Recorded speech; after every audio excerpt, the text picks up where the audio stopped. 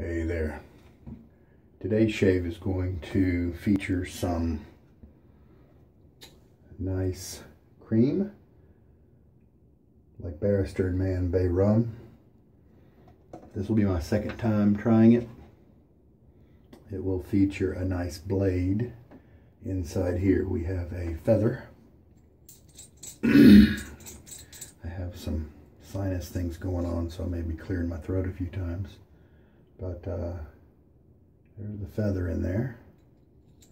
This is one of my favorite razors, the Parker Variant. And uh, we'll slip this right on top. We'll make sure that if this is your first time with this razor, you there's a notch on the top and the bottom of the two pieces. There's nothing over here. And that lets you know you've got it right because since this is an adjustable one, it's important the orientation of the guy. Tighten it down all the way and then I'm going to back it off to a, uh, to a 2 setting. Sometimes I can go with a 3 for my cheeks and a 2 down here, but I just feel like starting it out at a 2. I have had, uh, this is the actual Barrister and Mann soap. The color of it is kind of a little beige. It's been moistened a little bit. Did not like it the first time I tried it. Um, I at the time I thought that the I didn't know anything about the kind of the standard bay rum scent. Uh, I thought it was more of a rum scent um, instead of a clove type scent. And uh, when I first tried this, the clove was so strong in my nose that I clove I do not like clove, and so I don't like it in my food. Don't like it in my shaving cream and I just smelled so much of it in here that it, it I, I was like I wasted my money. Um, uh, but I decided to keep it around. And since my nose was stuffed up tonight, um, I decided, hey, let's try this guy again because I may not be able to smell him as much. And it is a good soap. Uh, the performance of this soap is really good. Uh, and so that's why I kind of have it around. Um, plus, I thought, you know what? Things change over time. The the way you smell it, what you appreciate, could be in the winter months. Um, this uh, this type of fragrance is maybe right up my alley. What I what I feel like that morning, you know. Who knows? Especially if somehow the clove starts to change and become less uh, in my perception of this uh, scent, then it may become uh, a very enjoyable one for me. Um, my uh, favorite brushes uh, for the last while. I've uh, come from Whipped Dog and this is a silver tip badger. And I'll go ahead and start uh, loading this brush over there on the windowsill. We have um, a little block of alum on the uh, rare occasion of a cut I've changed my angles. Um, when I first started out shaving, I thought the blade really kind of needed to be parallel with the skin. And then that would kind of make the handle kind of perpendicular with the skin. And then you close the handle angle until uh, you started cutting. Uh, and that's how I started for the first mm, year or so. And I got a sampler pack of some uh, previous to that, I had the Van Der Hagen, Vanderhagen blades, and uh, I'm going to assume that this is probably going to be enough. The Van Der Hagen blades were weren't too sharp, and so that uh, was passable. But then once I got a hold of an assortment with uh, some sharp blades like Feather and Astra and Treet um, and some others, I discovered the, the nicking of the face. I would average maybe uh, two small nicks per uh, shave, which is not really a big deal because you get your stick pencil out, dab, dab, heals it right up. Um, so there is the loaded brush, and I believe that's going to give me enough uh, lather. Well, you know what? Since I don't like this quite as much, a little bit more on there. I recognize that there's a lot of people out there who love this type of fragrance. I mean, every manufacturer has a bay rum scent. Um, the first time I tried Colonel Conk's bay rum, I didn't like it. And then somehow a few days ago, I tried it again and I identified it with the uh, Old Spice fragrance that I hadn't smelled in a while. And instantly the scent changed and I really enjoyed that bay rum. Maybe that'll happen with this one. Okay, that's got to be enough. Let's not play around too much. Um, okay. The Dollar Tree dog bowl that I use for making lather. I'm going to put a little water in there because I know I'm going to use at least that much. Um, you might give myself a head start with the lather. You know, there's that dry method that uh, where you start out super dry and then you just so gradually add water. I mean, that's, I think that's a great way to learn. A great way not to do something, not to mess up your lather, because I know that I had plenty of lathers where I uh, just added too much water to it. But uh, I got an idea, I think I added probably right now, maybe a, a teaspoon, teaspoon, yeah, teaspoon and a half maybe of water in there. And I know it's not going to be enough, but I just wanted to make absolutely sure I didn't add too much. Yeah, I'm not smelling the cloves quite as much. Of course, half my nose is clogged up, so that may have something to do with it too. So we have got already a very uh, thick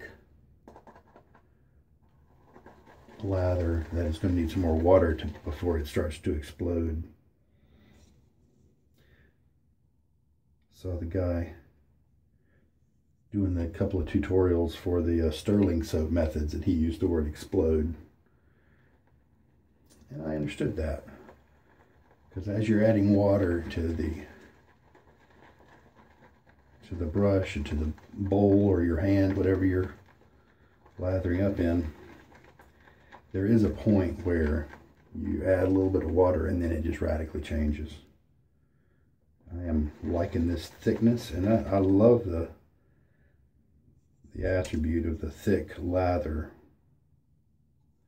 I mean you can you can have it be thin and it looks kind of nice and it spreads and you've got tons of it and it's light and fun and you've got peaks but I love it when I lay it on my face thick and feels like a warm blanket.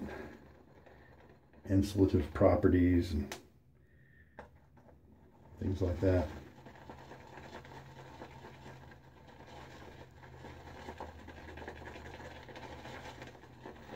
And that fragrance is definitely coming.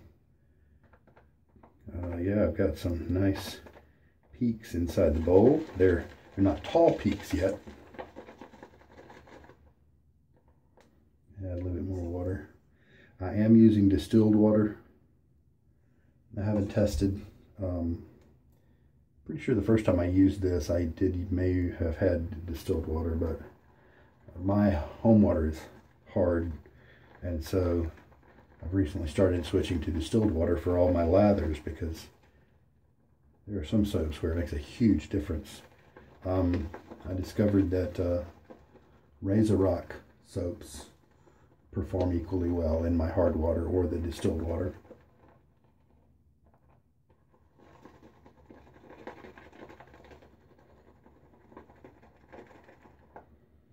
Oh, yeah. There was one of those uh, those peaks that was kind of long and and stringy, like like I've seen on a couple of videos. Um, yeah, we're getting there. therapeutic. Mixing of the lather, shaving of the face. I know that uh, lawn mowing, very therapeutic for me and a lot of people. And uh, sometimes my wife and I have to fight about who gets to mow the lawn. Reminds me of an old King of the Hill episode where uh, Bobby had, you know, done something and uh, his dad had to discipline him and Hank Hank said, you are not allowed to mow the lawn for two weeks. You don't know that show, then you won't get that joke. All right, we've got a good quantity of lather in here. Plenty enough for plenty enough for three passes plus. And it's uh, it's got a nice thickness to it. It's got a nice sheen. You know, maybe the this is a one of the higher cost soaps, and this may be why it's got a much better sheen on it than a lot of the other ones I've tried lately. One one thing about it when you if you like your lathers thick like I do, and you work at them this long, Oh yeah, that is beautiful. Um, you mix them every night, your your arm, because there's more drag in the bowl, and your uh, when you have a light lather, you don't have as much resistance. When you have a thick lather, you you do. Imagine uh, if I keep lathering up like this and shaving in this way and you know, give me a year and my right shoulder and forearm are going to be disproportionately large. All right, I've got tons of great looking lather, so let's just quit with that. That's great. Love the long handle because of my big hands. Um, much easier to grab than their, their normal size handles, which I was still happy with. Okay not doing a pre-shave today. It just didn't work out that way um, in terms of sometimes I'll splash on the uh, the bloom water that was on the soap. So we'll just go with a, uh, oh, you know what? Hey, let's try this. I'll just take my fingers in some of the um, kind of dried soap that was in the top of the thing here. And I'll, I'll do that on my face down there and rinse and I'll be back with you. I tell you what, the scent is very holidays. Very possible that I might want to bring in this scent when I Christmas comes around.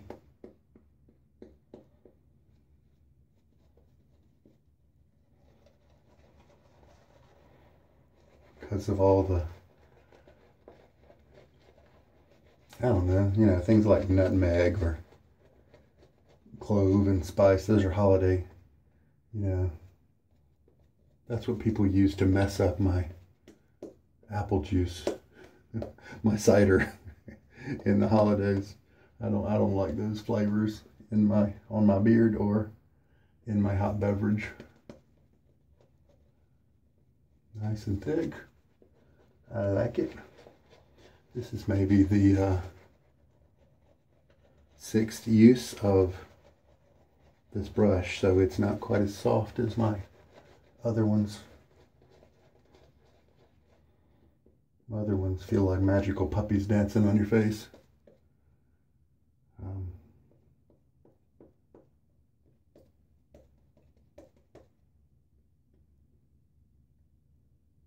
I like to put down some of those thick lines there for the razor to get. Um, I'm also a cold water shaver, so I um, that affects. Don't have to wait on the hot water. I don't have to try to keep hot water in the in the sink or use some kind of scuttle. All right, the razor is set at the right depth.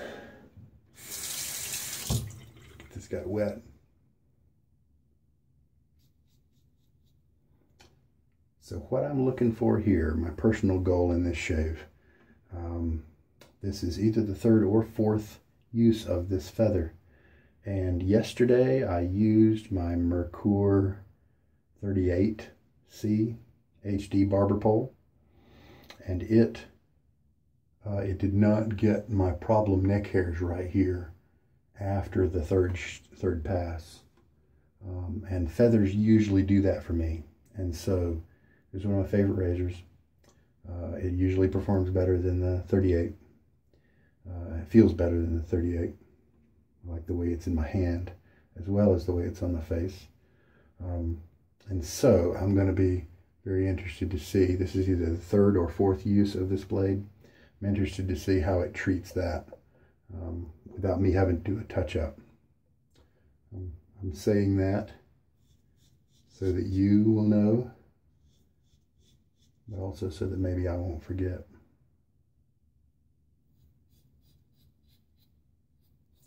Trying to stay as parallel. Oh, that's so smooth. You do hear some feedback, but it's the nice kind.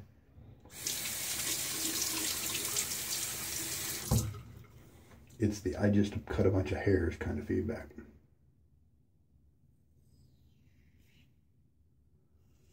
cracks me up that the cartridge razors that they're that are out on the market are being the way they're being marketed it's got a it's got a ball on it and it pivots and twists and all that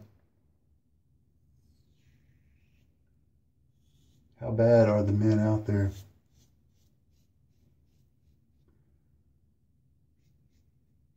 who can't make their razor pivot around their own contours.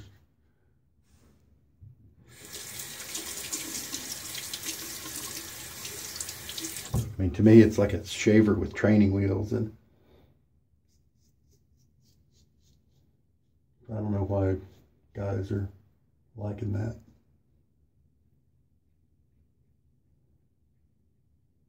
Excellent. Oh, that felt so good. Tried some uh, Rapiras the other day. It was the Swedish steel. Not good, not good. The first, the first shave with it was uh, was okay, but they just deteriorated quickly, and that first pass with with them was so uncomfortable. Not so with the feather. Um, feels great. All right, let's prep for a uh, cross grain pass. I'm to go down and rinse. All right, done rinsing. And I felt the money.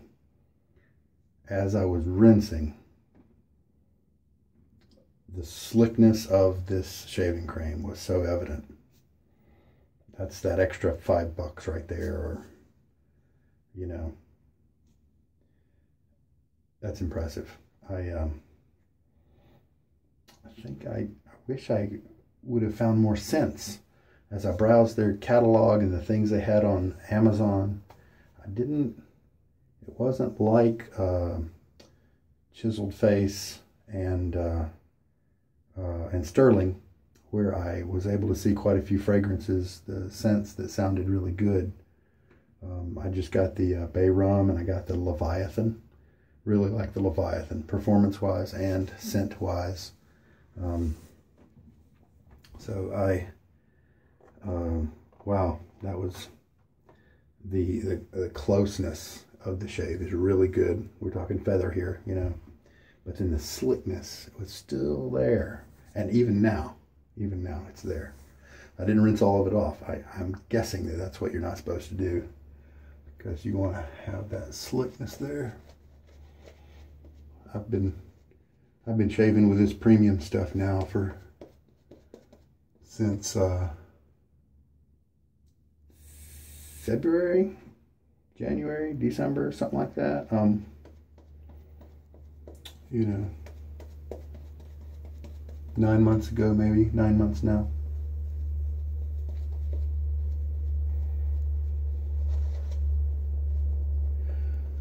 I'm just going to just do this, the wiping, the painting motion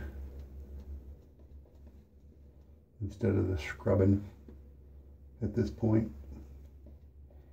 I believe I've heard reputable people say that the scrubbing isn't quite as necessary on the second and third passes.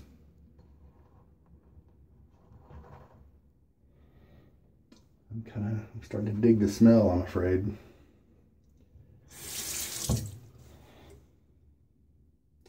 Saw a uh, forum post today where the guy said that, uh, cross grain, uh, where the guy said he liked the Jermyn street, J-E-R-M-Y-N, uh, from Taylor of Old Bond Street.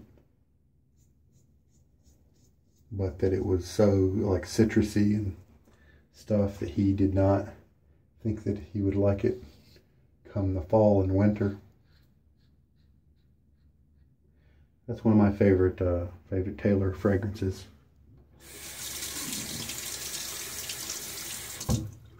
I'd probably wear it in both environments, but this scent is really kind of taking my brain away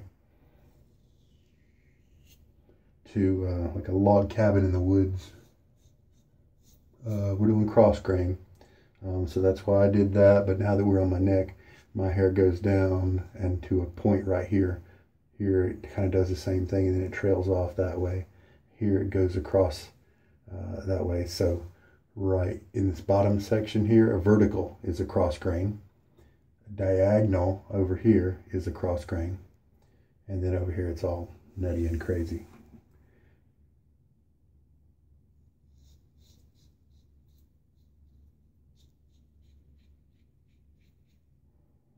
So smooth.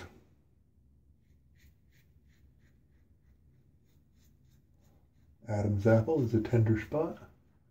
Yesterday I got a little razor burn right there. But the uh, witch hazel took care of it.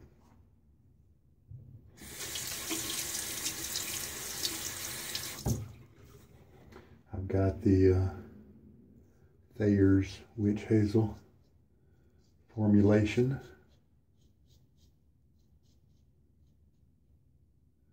with uh, aloe added in no alcohol and uh, uh, fragrance free.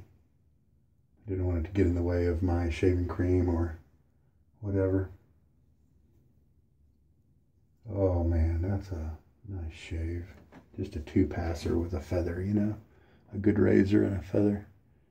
It feels good. So my cheeks are done, in my opinion.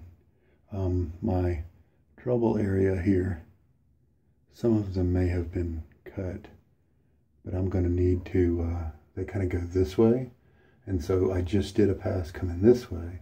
And so next pass, the touch up here will come from the bottom and go up diagonally. And hopefully that will be what I need to not have to do any more like invasive passes or I don't like to do against the grain passes. They're, they irritate my skin. I'll be right back after I rinse.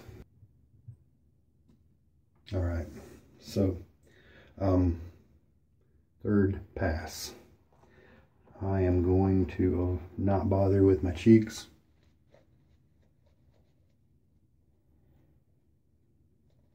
Didn't really want to like this smell, but I think I'm starting to.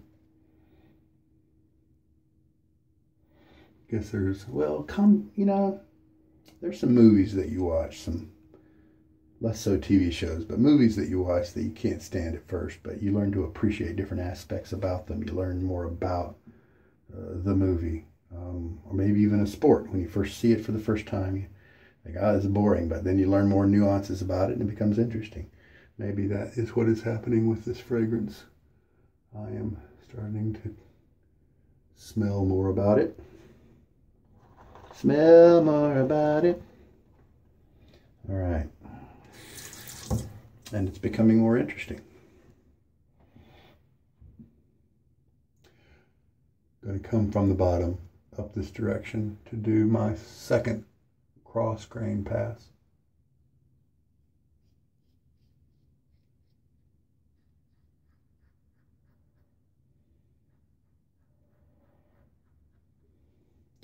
Now I wonder if I should change my setting. If I should change it to a 3 to be more aggressive, to maybe because see the two passes that I've done haven't gotten those hairs. Should I do be more aggressive or since this is soft skin, eh, I'm to keep it at a two. I think I've done this at a three and I've gotten some razor burn. So, hey, but if you see my point, um, maybe that there are certain areas of soft skin where you where a mild setting just doesn't get to the hairs quite well or something like that. If you understand my point, you, you kind of have some knowledge to share, please uh, jump in the contents, the comments there.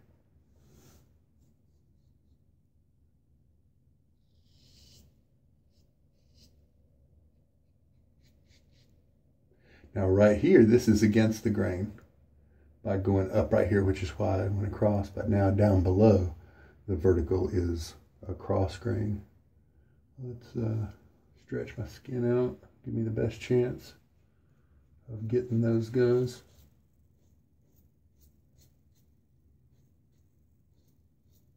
without irritation. I just, I would rather have a little bit of stubble right there than doing against the grain pass and get irritation like every every day, you know.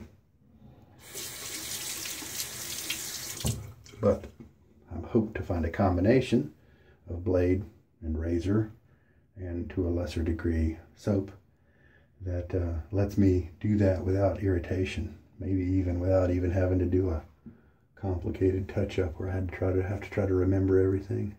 Oh, got a tiny little bleeder right there. That soft skin, man.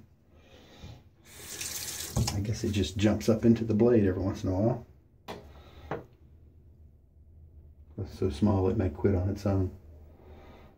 Let's see if the this is the ah, this will be my first time to see if the witch hazel by itself can uh, can fix that. I don't know if it's supposed to. Um, I think it I think it has those properties, so we'll give that a shot. Oh, oh, got another one right here. That's a bigger one. I don't feel as much irritation. I bet I'll feel it when I splash water on it. Um, but let's let's take a look at the results. Oh, happy results. That looks good. That looks good. A little bit of irritation with the cross grain pass. Um, maybe I should have held my skin tighter. I'm not sure. But uh, there's those guys right there. I've got my alum block, but I'm just going to try the witch hazel and see if they if that fixes it up. But hey, I'm done. Um, the third pass was basically a touch up with strategic, um, directional things going on in this area. A little bit less important over here because the hair just grows a little. It's easier to get to. I don't know. Um, so that's nice. I like that. Uh, so that uh, that proves to me that the feather it performs better for my skin when it is in the Parker variant than the Merkur 38C HD. Um, at least at this setting. Now, next time, yeah, maybe when I do my first pass, maybe if I did this at a 3, who knows, maybe I'd be cut more. I don't know. All right. I am going to uh, rinse this off. Um, be right back. All right, back from the rinse.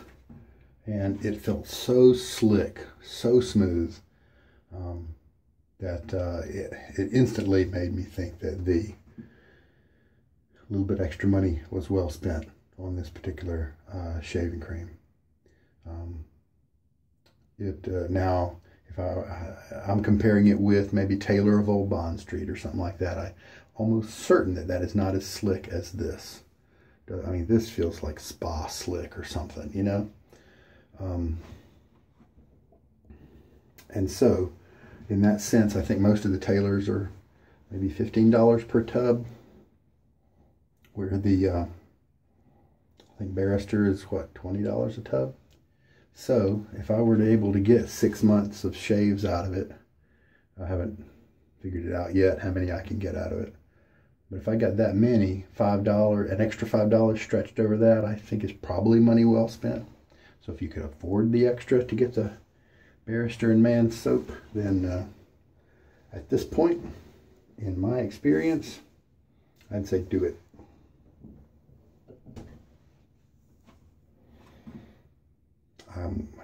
I bet this scent is going to grow on me and I'm just going to like it. Uh, all right, so we're going to try the witch hazel and see what that does to, to these little guys. Um, I think some people were saying the witch hazel was the uh, a little bit of an antiseptic, and then another person said no, it's not. So I don't, I'm not sure. Do your own research there.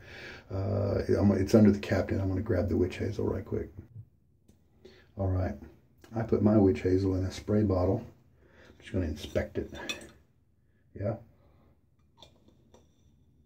Don't know what I expected to find, but just wanted to check. I don't know if you're supposed to put it in a spray bottle or not. Um, but uh, I like the spray bottle because I, it probably uses less product. It'll stretch it out farther. Um, and it applies it on your face kind of evenly. And you don't have to do as much rubbing on your face. And so if I have had a kind of a rough shave, then this is much nicer than splashing it on my face and then trying to rub it all over the place. All right. There we go. Let's see if it does anything to these uh, little guys right there now. I'll kind of make sure it gets evened out among. I can feel it. Uh, I can feel it uh, tingling in the uh, little bit of uh, a little bit of sting in a few of the uh, razor burn type areas, but uh, yeah, we'll see if it takes care of those little bleeders. Um, I've heard the terms bleeders used and weepers. I don't know the difference. Um, all right, that's excellent. So, uh, Barrister and Mann, Bay Rum, Parker Variant Adjustable Razor, Feather Blade. Excellent combos, great shave. Um, you know, surely getting this area down here with a, a higher aggression setting is not the right way to go after I think about it. So um, maybe next time I'm coming at it with a feather in this region, maybe I should back it down to 1.5 or 1 instead of the 2. Today was all 2 all the time. And, uh, and so maybe lowering the setting for this specific region will help me not to get cuts in the future. Yeah, looks like the witch hazel is doing all right. Um, just let that go, see what happens. All right, so I'm really happy with that combination. And I'm also kind of happy that I'm learning to like the Bay Rum fragrance. Um, at least my pocketbook is glad I am, uh, so that it doesn't go to waste. Maybe in the winter when it's super cold, something like this will have a different effect on your brain, you know. Looking forward to trying that out and seeing what happens. All right. Well, gonna seal this guy up. This is the uh, tub of bay rum from Barrister and Mann. And I don't think there's much else to talk about. Hopefully the information in here was helpful to somebody. Um, maybe looking at these combinations or one of the pieces that I used. You just wanted to see it in action or something like that. So, hey, take care. I'm back. After a second or two of being off camera, I looked at these guys and I thought, you know what? I don't think the witch hazel is built, is made to take care of the larger type cuts. So the witch goes away for a moment and Gentleman Jon comes on. Just get this a little wet. Haven't used it too many times, but I've seen other people use, I stayed at a Holiday Inn Express last night. I've seen other shaving gurus use it. Just kind of, now they rub it all over their face as an astringent in place of something like the, uh, the witch hazel. But I'm just doing a focused area to, to stop that bleeding. And so far it's been very effective the few times I've used it. You have to make sure you dry it though. Uh, dry it completely uh, on a towel or something before you put it back in its case. It's a, it's, it is a salt. It's not the salt like we use with our food. but It is a salt, and so it will degrade and dissolve and uh, disintegrate if you leave it in the presence of water. And that guy is pretty much stopped bleeding. Everybody's happy. I think you do have to rinse off the um, the alum. I don't think you need to rinse off the witch hazel, but I do think I should do the alum. Anyway, I'll do that, and uh, and there we go. Thanks for watching.